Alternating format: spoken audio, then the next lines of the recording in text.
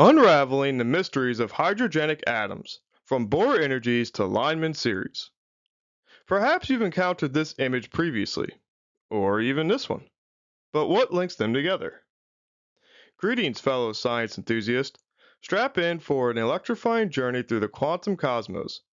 Join us as we venture into the atomic abyss to decode the secrets of hydrogenic atoms. From calculating Bohr energies to Bohr radii and the Rydberg constant, we'll traverse the intricacies of atomic physics. But that's not all. Stay glued as we illuminate the path of the Lyman series through the electromagnetic spectrum for ionized helium and doubly ionized lithium, unlocking the hidden wonders of the subatomic world. By the end of this video, you'll be able to understand the hydronic, the hydrogen atoms, or hydrogen-like atoms, uh, and how easy they are to work with, find spectral wavelengths for a couple of these atoms, and understand the spectral graphs. So let's see what we're tasked with doing. As defined, a hydrogenic atom consists of a single electron orbiting a nucleus with Z protons. And we want to determine the Bohr energy, the binding energy, the Bohr radius, and the Rydberg constant for a hydronic atom, hydrogenic atom. Where in the electromagnetic spectrum would the Lyman series fall for z equals 2 and z equals 3? Now, take for a second, what do you think z equal 2 and z equal 3 represent based on this definition? Before we start, I'd like to mention that there is a free companion PDF available for you to follow along. You can access it using the link below. Alrighty, so let's get started. What is the easiest approach, which is highlighted in the um, question by the author as well, is that we are trying to modify the hydrogen potential energy. That is, from the Coulombic potential of a single proton and a single electron, not the electric potential. This theory is dealt, dealing with the Hamiltonian, and thus we need the potential energy. Um, so, although they're closely related, not quite the same thing. So, just be aware that's what we need. What we want to do is modify the potential, which is what we see here, potential energy, and where we just have E squared, since we know that E, the electron is negative E, the proton is positive E, so we get the E squared there. But now that we have more protons, we have Z to add to that. So that is what we're trying to do. And in the case of Z equals 1, we just get the hydrogen atom itself. So that's a good check. But with this modification, we know that the Bohr energy, which is stated as En equals negative, and then all of these constants to the 1 over n squared, where n ranges from 1 to positive infinity. This can be modified since we have an e squared in this uh, parentheses as such, where we put the z on the e squared as well. But in order to simplify this in terms of the original energies, we have to factor this out, and that's what we do in our next step where we have a z uh, squared. Noticing here that we can't just pull out a z, we have to apply the square on it too. That's why it's color coded as such so we can quickly see. Now with that in the bank, we can see that this bracket here is just the original Bohr energy. So we put that back in and now we can see how the Bohr energy is modified. That being said, we can move on to the binding energy, which was just a case of how much energy is it going to take to move us from the ground state to an excited state. Um, again, units here for the negative sign are just a reference to the system being used. And in this book, this negative sign comes from Griffiths orientation. Uh, but with that being said, we were at negative one uh, or negative 13.6 electron volts.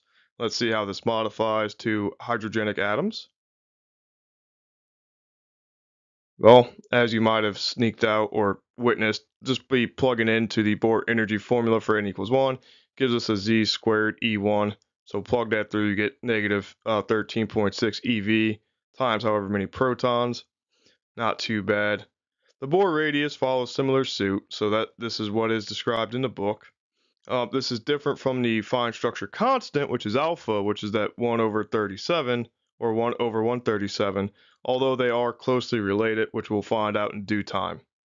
That being said, though, we see that we have an e squared here, so we need to modify that with the ze squared. And when we do so, we see that by, again, factoring out the z, we get a 1 over z, and we know that that a, the Bohr radius, comes from whatever is introduced, or rather, is the same Bohr radius that we had here, just with the factored out z. Easy enough. Similarly, Rydberg, Rydberg's constant is defined as such, but you see we have an e squared term here. So let's apply the modification. When we do so, we see that we get a z e squared now in the modified um, for hydrogenic atoms. And so we just plug it out or factor it out like we did with the energy. And now you see that Rydberg constant times z squared is the new Rydberg constant for the hydrogenic atoms. All of this is on par. Finally then, the Rydberg formula, which we'll need for the next part, is given as such, and then if we apply the modification, we just have to put a z squared out there. Easy enough, we can deal with that, not bad at all. Now, the modification was quick and easy, but now we have to dive into a little more intricacy of what is the Lyman series. And we know that we have several energy levels in all of these quantum systems. So what is being uh, what is being uh, communicated with the series is, well, in the case of Lyman series, I have excited states that are above my ground state. So what happens when I interact with other medium, specifically light? Well, I could uh, transition to the ground state eh, based on whatever other interactions I have in the quantum system. So the summary of this is that Lyman series tell us what happens to the atom as the electron goes from some higher initial state to the ground state. And that's what we have summarized here. So the Lyman series again is represented by transitions to the ground state from whatever other higher energy level. There are there are other series like this, uh, mainly the Balmer and Paschen series, which you can study in depth later, but nonetheless, be aware that they are out there. Let's dive into how this series can be calculated with the given uh, parameters. All right, so first and foremost, we saw how the Rydberg constant and the Rydberg formula led us to a wavelength with the respective uh, energy levels, namely the n values. So here, though, we have a hydrogenic atom, so we have a z squared term out front. That's fine. What else we what we need to realize as well is that we had f uh, nf equal one, so this leading term goes to one. And again, I have a little more work about this in the PDF. Just this is the quick summary of it so we can get the concepts down. Um, but I have a green form here because we know that 1 over 1 squared gives us 1. Not bad. We can see that in the green form. But I also have the purple form here, which is find a common denominator and simplify it down. The reason will become apparent in just a second. But we're interested in the wavelengths of the uh, spectrum, right? So we need to invert both of these. And when we do so, we get the constants out front on both of them, easy enough. We have 1 over this green form, and then we just take the reciprocal of the purple form. The reason for this is because we know that since the closest energy level to the ground state is Ni equals 2, this is a much simpler form in the purple to be able to simplify it down. And the green form for n equals infinity is a much simpler form to handle as we see here. Lambda close or lambda c just equals lambda close. This is telling us, or what I'm trying to communicate is that this is the closest energy level to the ground state, not necessarily the wavelength is closest. Similarly for lambda f, this is the furthest uh, energy level away from the ground state. So what we're analyzing are the two boundary conditions of the energy state so that we can find a notable range for the particular values of z that we might encounter. And we need these ranges so that we can understand where in the electromagnetic in the electromagnetic spectrum we have um, our absorption and emission spectra coming out of. Ugh, a lot of words, but let's dive into the particular cases that were given. So for the hydrogenic atoms, we had in particular the case of z equals 2 and z equals 3. In the case of Z equals 2, this was just the ionized helium. We got rid of one electron. The doubly ionized lithium, we got rid of two electrons. So we know that for lithium, we had three protons, helium, we had two, and we're good. Plug them into the forms that we had there, and we see that when we plug in two, we get a 4 4 cancel, not bad. This leads us to one of the boundary terms for the uh, states closest to the ground state, and then the other wavelength for the uh, cases of something being further away, the ground state energy and the highest energy level. So we know that if we have the two boundary cases on it, we can determine what range of wavelengths these two fall into. And normally for hydrogen, this falls into the ultraviolet, so that is what we are going to compare against. Similarly, for the doubly ionized lithium, we have here that, oh, that should just be 3. I don't know why that's 33. That's a 3 squared. Oops. Um, but as you see here, we have 3 squared times 3. That's 3 times 3 times 3. That gives us 27. That's a typo again. And then for the furthest, we just have the same thing, 1 over 9 easy enough. You can see the calculations, but the goal here is that we get another set of ranges that we need to compare to. And what exactly are we comparing to? Well, this is what I've been rambling about. This is the electromagnetic spectrum. And here, it being a spectrum, we need particular ranges so that we can understand where these wavelengths are falling into. So out of the entire electromagnetic spectrum that we have right now, going from tiny wavelengths for gamma radiation all the way up to somewhat big wavelengths with uh, 10 meters for radio waves and then their frequencies down here, we see that between ultraviolet and infrared, infrared, we have the visible spectrum, which as you see is a very, very, very narrow sliver of the entire electromagnetic spectrum. So there's plenty of other resource for this that's a little easier to comprehend and I'll link them below. But for us, all I'm trying to highlight is that we have violet through red, and we need to classify where the wavelengths for these two hydrogenic atoms fall in, given that we want the Lyman series, so we're transitioning from uh, infinity to 2, and 2 and infinity at the boundaries to the ground state. And so what we're trying to compare to is if this is the lowest if this is the lowest wavelength and this is the highest wavelength, then we know that that series as a whole falls in the ultraviolet. So let's go ahead and check that out. Okay, so with all the rambling I've done, let's tidy it all together with the graph. Graphs are essential for understanding and we can just get a lot from them. The goal of the previous calculations was to show what happens over the entirety of the range of possible wavelengths given the Z equals 2 and Z equals 3, the ionized helium and the doubly ionized lithium respectively. In the case of Lyman series, we know that we are transitioning to the ground state. That means that our minimum here is the first excited state that we can be away. And that's what's graphed here with the red vertical line.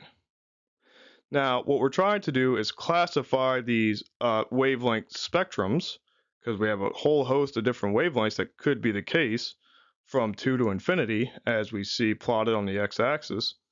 Um, so we have to realize that we know that the Lyman series typically fall within the ultraviolet region for hydrogen, and that's what's graphed here. That horizontal line that's dotted in purple is the UV minimum on the edge case of the uh, possible wavelengths.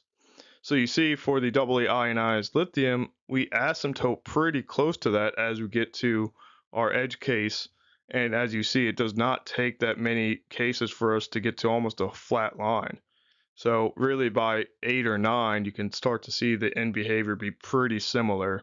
That's why you never see graphs of these going to like 100. It just doesn't make sense. And there's other energy structures available. But nonetheless, theoretics allows us to do that. As we see for the uh, uh, the ionized helium, though, the blue line, we see that we are well above the minimum and well below the maximum. So we're good there. But these graphs are just telling us the possible ranges that could potentially exist. What what are these the ranges of though? Well, let's go back to the picture we first saw. These two things. Now, at first glance, they look kind of weird, but they're very important to us. They're pretty in colors and all that other fun stuff, but what we can note here is that their application is crucial both in chemistry and astrophysics and several other realms of science when we need to know or find out an unknown compound, atom, or composition of molecules. The reason why is because every atomic element has a unique absorption and emission spectrum. And the emission spectrum are dark with lit bands, and the absorption spectra are lit with dark bands. Basically, they're conjugates of each other in a, in a way, they're opposites, whatever words you want to use. They're telling us the same thing, just in a different perspective. What am I giving out? What am I taking in? That's what we're doing. Um, there's a great link for this that where I took these pictures from that has a whole lesson about this. So I'm definitely to link that below if in case you're interested in more. It's a wonderful website. Uh, but what we can take away from this is that we can match these uh, emission spectra, which we know that each one of these lines may correspond to like n equal 2, n equal three, four, five, things like that.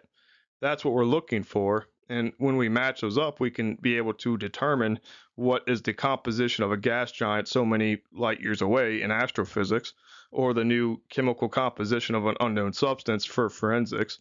Applications are several and diverse. But the whole goal here and what the Rydberg formula was made off of was the fact that the wavelength of the photon for a band on the spectrum depends on the energy difference between the electron energy levels. So it's the change in energy, the delta of the energy that matters. And that's why we have to transition from a higher to a lower. And that's what we're measuring here. But we'll talk about this more in depth in a few chapters when we get to the fine structure constant and the Zeeman effect. So just be aware this is the ground the ground state of spectrum analysis for what we will encounter. In summary, you now know how to modify the hydrogen model for hydrogenic like atoms. Although if you would like to solve the Schrodinger equation for each case, you know, it'd be a good exercise. I don't think it'd be very time efficient though. You also know how to find the spectral ranges for a particular series and atom, in this case, the Lyman series, where Ni equals 2 and can go up to infinity, and the particular atoms for Z equals 2 and Z equals 3. And then put this all together, you now know how to uh, interpret these graphs, at least a little more. I didn't do too much of a deep dive on it, um, and understand some of their applications, although I don't think I did it justice in just how powerful they are and how many times we use them. So, but at least you're exposed to it and can we can go deeper in it if you'd like. If you enjoyed this, please consider supporting this channel by subscribing and sharing this curiosity. Books, notes, and other reference materials are found below.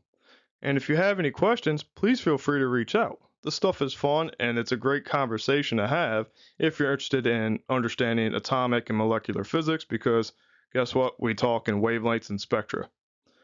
As always, thank you for watching. Until next time, stay curious.